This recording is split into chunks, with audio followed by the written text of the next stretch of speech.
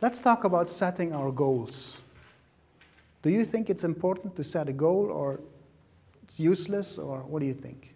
Tell me. What's your opinion? Chris? It's important to set a goal so, so that you can aim higher. Exactly. Crispin? It's important to set personal goals Mm-hmm. so that you're able to know whether you are achieving anything or by the set time by you Mm-hmm. or you're not.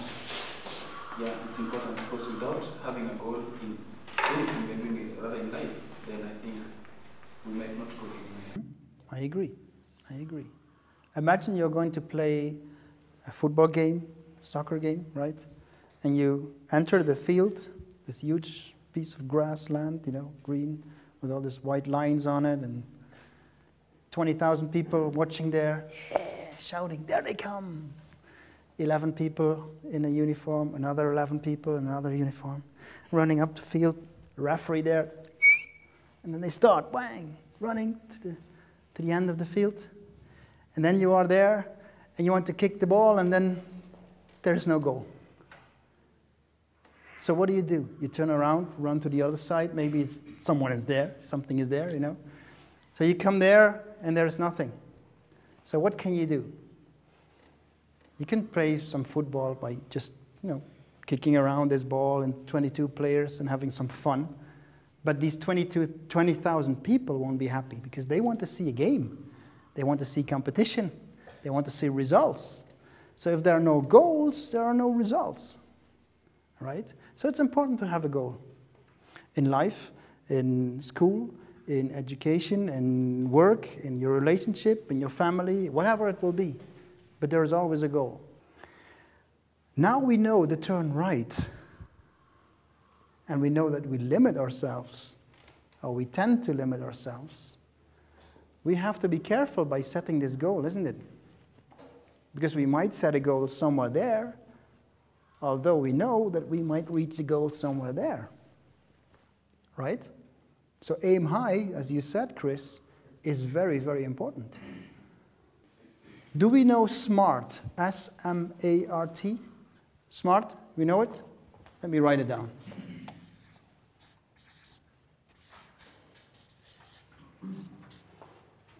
These letters, SMART, what do they mean?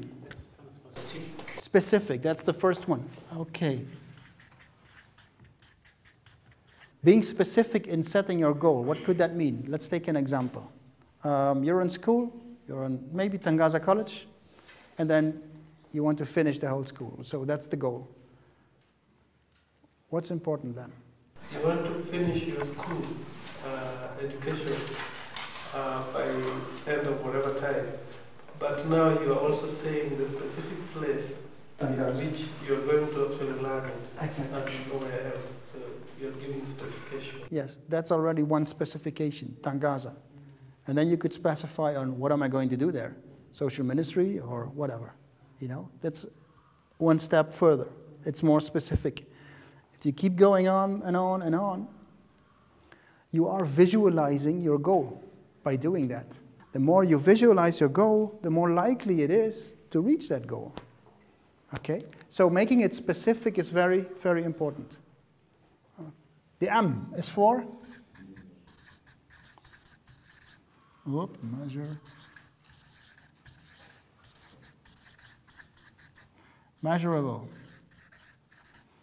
Sorry for the mess. What do we mean by measurable? How can we make it go measurable? Let's uh, say you're going to start a car repair shop. If you want it specific, you could say, I'm going to repair second-hand cars and cars uh, who just pass by and go in because they say, I have a problem. Okay? Measurable would mean this company would be, I don't know, maybe as big as this room here, or maybe double of that. And I would be, there would be about four employees, and I would do about four cars in an hour. I don't know, something like that, but make it measurable. This is also about visualizing. It's getting it more and more clear what your goal is. Okay? A is for Achievable.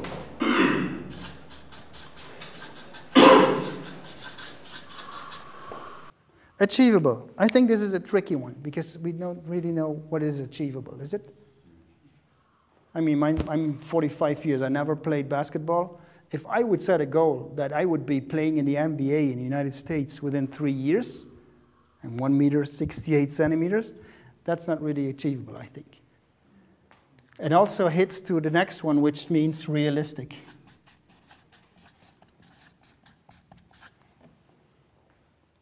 So, what is realistic?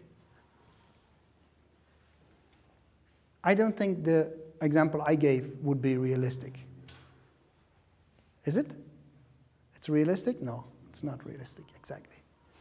But on the other hand, there could have been a guy, a little boy, years ago in primary school, and maybe the teacher asked, Bill, what do you want to be when you grow up?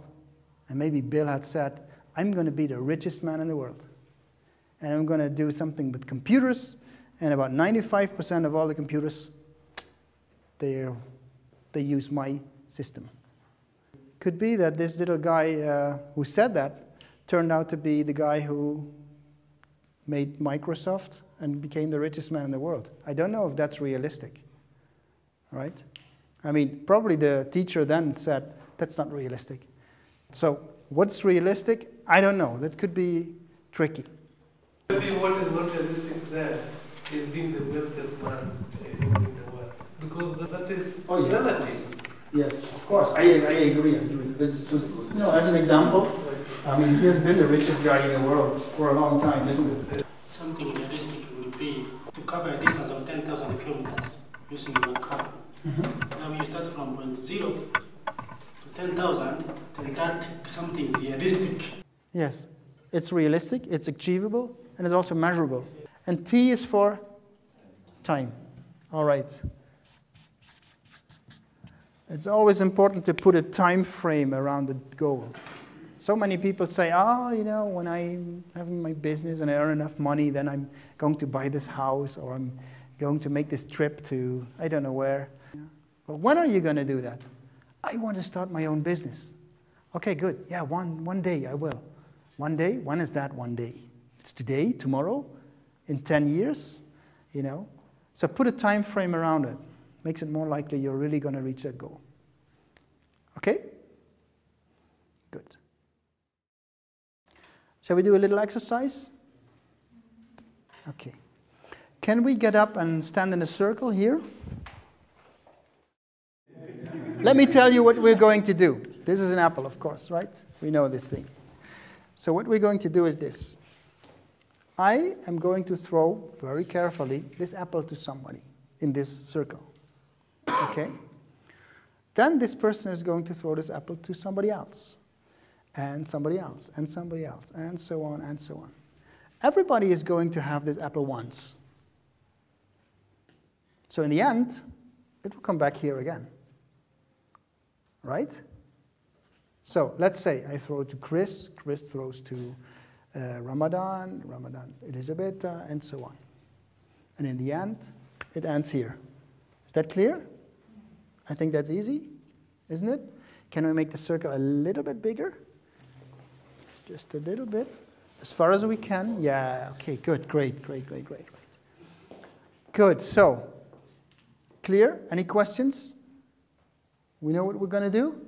Do we throw it with strength or No, no, no. Carefully, carefully, carefully, just carefully. There's one rule.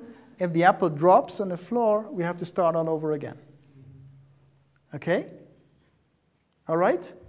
So we're not going to do like this, but just carefully like this, okay? We need a big apple. You need a big apple? Yeah. This is okay. Wait, there is a brick here. That, would that help?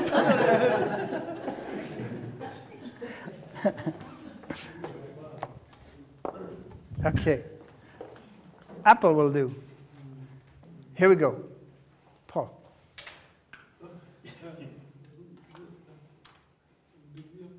Ah, it's big enough.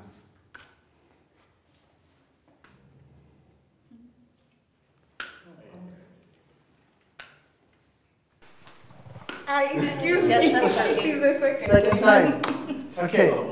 So how can we solve this? I mean, that's this is confusing. Of course, I don't know who was the first or second time. So how, what, what what can we do? Concentrate. Okay, that's one. Plan. What else? Strategy. Strategy. What could we do? Just easy. Just keep it simple. What could we do? I mean, we could stand like this. That means I have to catch an apple. And if you have had it already, you just do like this. Okay? Concentrate.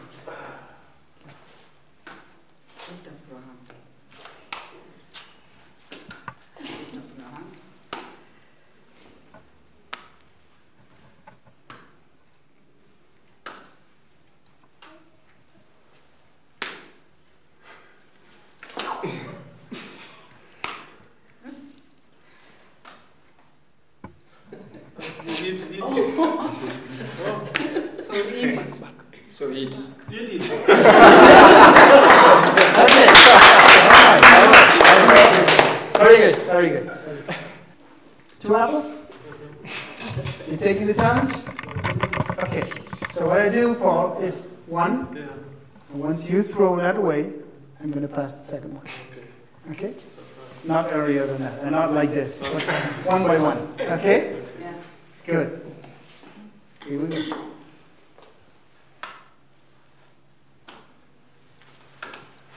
Raise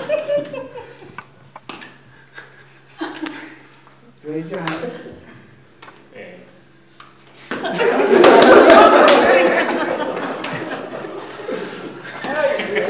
Yes, yes. Let's start again. Let's start again. Unajua na huku naona No, just be, don't be. Well, I was doing, doing the next direction. you need to concentrate. concentration. Concentration. Concentrate, we are Let's see how far we can get, okay? Yes. Okay. Are you ready? Concentrate. Here we go. One. Two.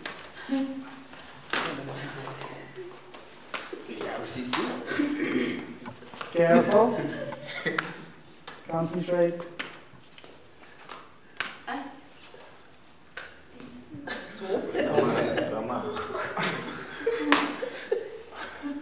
Yeah, sisi. Eh, that one is- just focus. Okay, good. Two apples. This one is fell down. You see that? It's bruised. Crying. Can be eaten. Crying.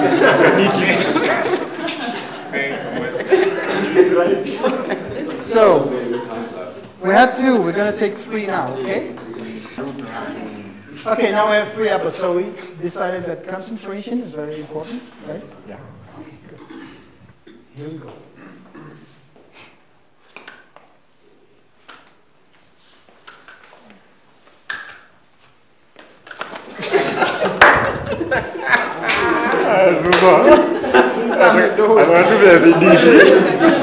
Yaani anaziona na tu imetolewa.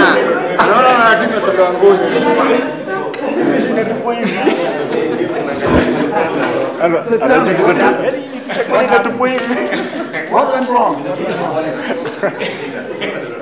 I suggested Those are bit. you were somewhere else. I think you need to mark the person who is supposed. Okay, now we're getting somewhere. I was waiting for this. I mean, I can cheer it for you and tell you this is what you're gonna do. Yeah. Then what you say is very important. Say it again. You need to know who is throwing the ball to you and who you throw it to. That way, whether they are 10 or 3, you'll be able to. Exactly. All you have to do, yes, yes. All you have to do is focus on those two actions, those two people. The one who's throwing it, and the one who's throw back. So this is, when you set a goal, it's very important to focus on your goal. My goal is to throw these apples to Paul and to catch them From Paul. from the other Paul. if Paul throws them to me, right? That's all I have to do. I don't have to worry about Elisabetta, Chris, or Crispine, whatever. I trust on you that everything is going well. Shall we try four? Yeah,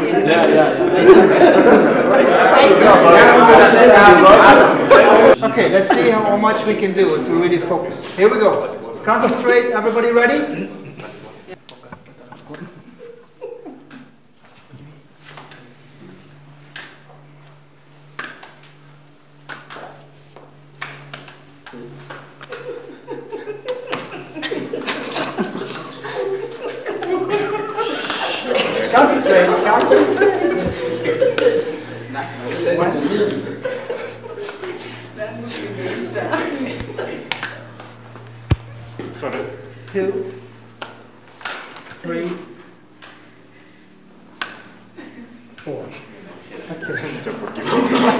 Na zile zinakuja hapa kabisa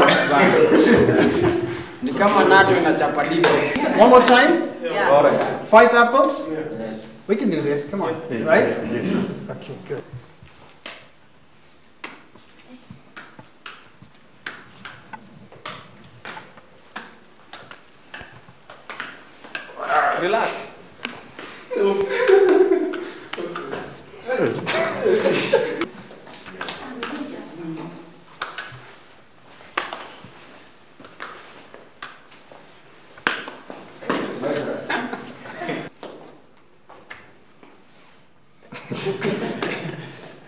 Okay, fine.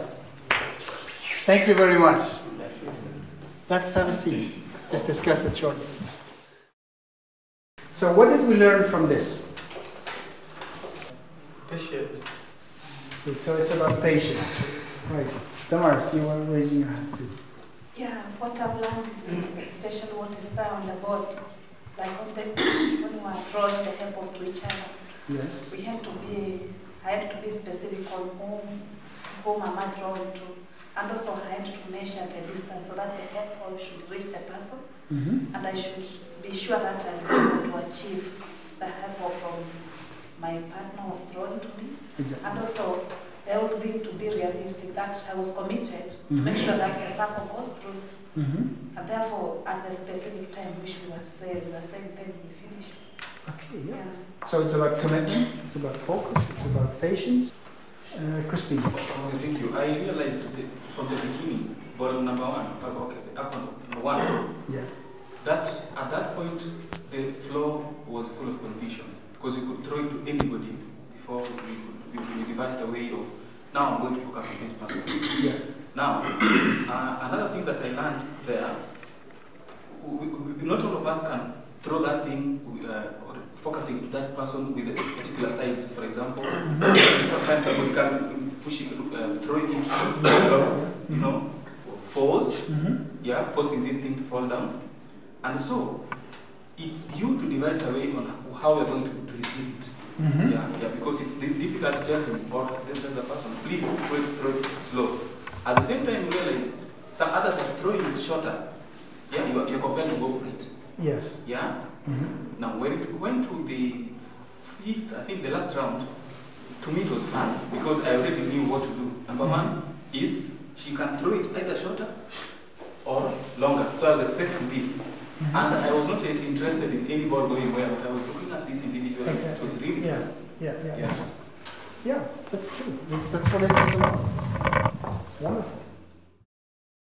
It's an easy game, isn't it? It's fun. And it tells you a lot about what is important if you want to reach your goals focus, concentration, cooperation, making it structurized, which is important too, right? Because the first run it was very confusing. The second one was confusing too, until we set some structure in there. Now, the, way, the reason we do it this way is because this is experiential learning. You learn by doing. If you do this with a group of people, they learn step by step just by doing this. And then they experience okay, so I have to structurize, I have to make arrangements, I have to make agreements, I have to focus, and blah, blah, blah, the whole, the whole list. Okay?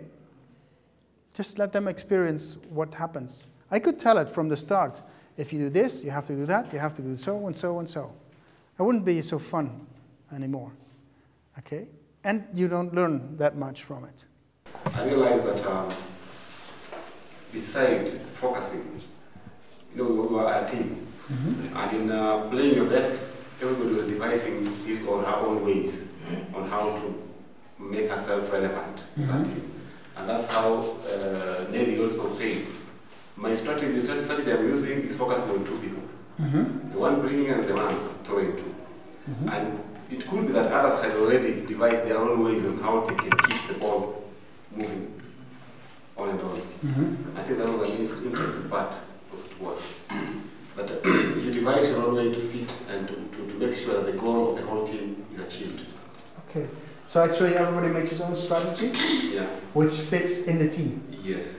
This is social entrepreneurship. John.